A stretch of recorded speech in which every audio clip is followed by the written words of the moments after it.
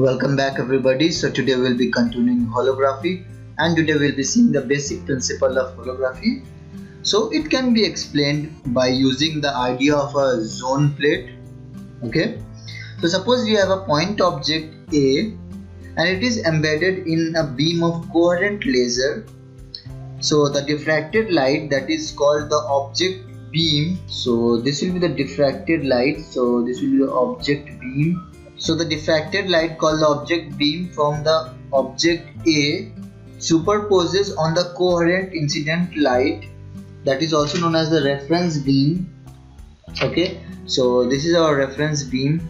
Uh, so this all goes on the photographic film that is the PQ on the film the interference of these two set of waves that is the coherent waves produce a pattern of light and dark ring. Okay so this film having a dark and opaque region is called a hologram and the technique of making a hologram of the object is known as optical analysis.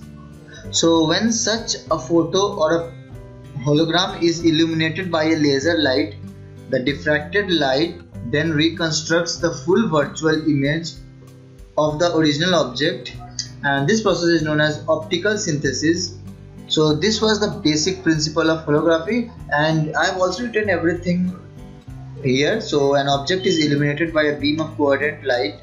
Okay then every point of the surface of the object acts as a source of secondary wave. Okay so you can see these waves are acting as secondary wave.